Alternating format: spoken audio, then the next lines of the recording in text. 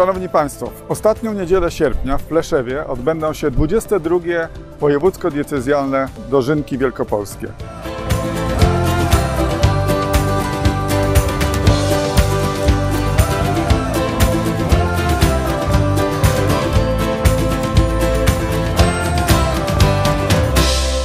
Serdecznie zapraszam.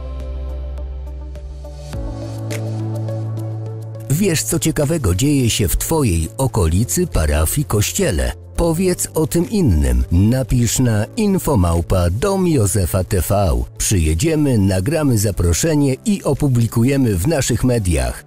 Informator. Co, gdzie, kiedy? Teraz wiemy, gdzie jedziemy.